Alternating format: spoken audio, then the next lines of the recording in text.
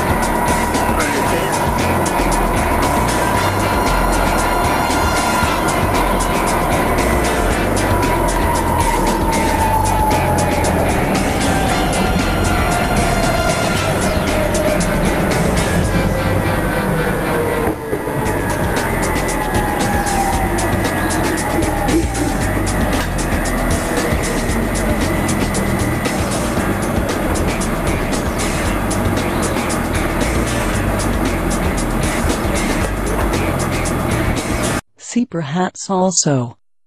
Info evidence, 24th April 2005. After the first and the second contact. See, if possible, these videos. Only 22 days passed. And then,